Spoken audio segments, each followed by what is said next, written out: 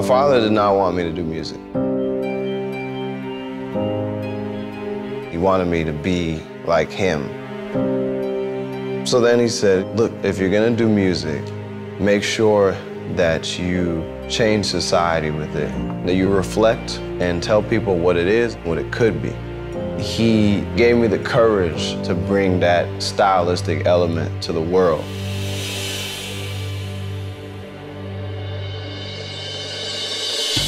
When I first got into suits, we was a bunch of broke artists. I needed to go to thrift shops. It wasn't to be cool or nothing, it was because I couldn't afford to keep up with hip hop style. They were always oversized, and I'm a slim guy. That's when I started to really invest in local tailors. Uh, that was the beginning. When I first met Jidenna, the first thing I saw was the red hair and his total look. I'm like, this guy is different something about him.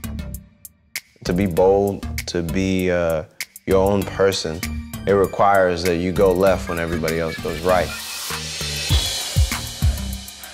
One of the things that I love about Jidenna is that cane, man, is bold, you know? It's like, I'm here, boom. The cane is like one of his major trademarks. I probably have 20 canes or walking sticks Every cane, every walking stick has a story. The first time that I ever saw what was a walking stick or a cane, it was really a staff, was with the chiefs that used to surround my father. In Nigeria, my father was a chief, my grandfather was a chief. They would meet in the living room. A lot of them had staffs, canes, sometimes a cowtail switch, but they would come with some sort of accessory. As the years progressed, my father became more of an icon in my life, more of a hero. And eventually when he passed, I took on the style that I saw him wear. And that was the suit and then the walking stick and the cane. That was the beginning coming into my really first and maybe only collection habit, which is collecting uh, canes and walking sticks. This walking stick features none other than Sherlock Holmes. I was on the way to the White House, and I had a performance at the White House for the 4th of July, and I was nervous because during Classic Man, I always perform with a, a cane.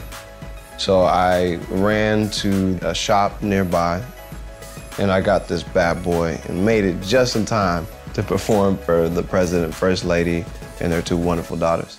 All right, Joe.